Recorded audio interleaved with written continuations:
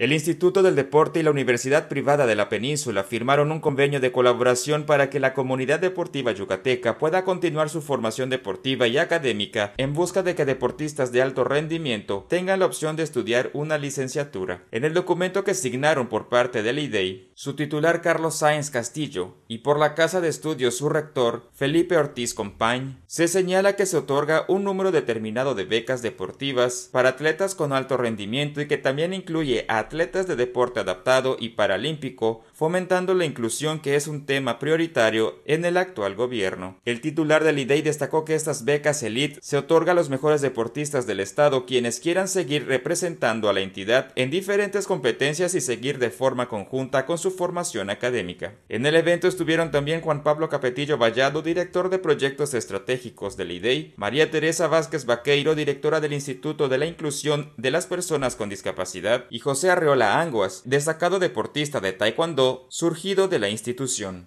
Noticias Teleplay.